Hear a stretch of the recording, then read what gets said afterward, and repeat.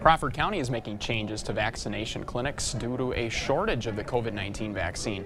The county received 140 doses of the vaccine this week. Health officials there say they were hopeful they would be able to provide vaccine doses to 500 people. Because of a shortage of doses, a planned clinic for today was canceled.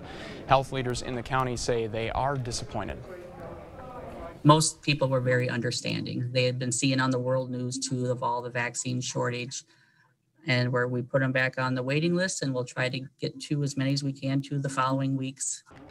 And county officials say nearly 350 in the county that were scheduled to get the vaccine this week were not able to.